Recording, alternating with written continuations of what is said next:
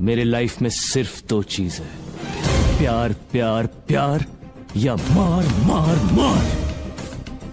अगर मैं चाहूँ तो अभी चंदा को यहाँ से लेके जा सकता हूँ, लेकिन मैं ऐसा नहीं करूँगा।